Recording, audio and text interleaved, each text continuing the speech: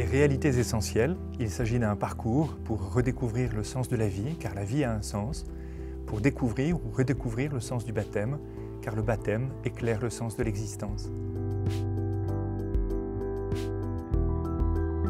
Le parcours est proposé à toute personne qui le souhaite, qu'elle soit baptisée ou qu'elle ne le soit pas.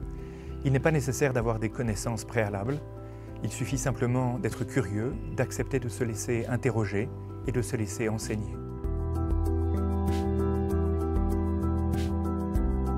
Je m'appelle Laurence Talabourdillon, je suis prêtre du diocèse de Paris.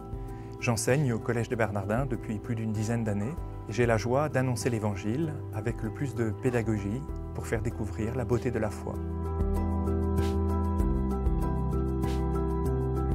Le premier cours aura lieu le lundi 27 septembre de 20h à 21h30, après quoi les cours se succèdent à peu près tous les 15 jours. L'inscription se fait sur le site synode.fr.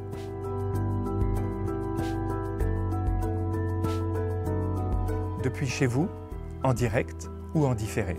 C'est un parcours qui redonne de l'espérance, qui donne de la joie, car la foi rend joyeux.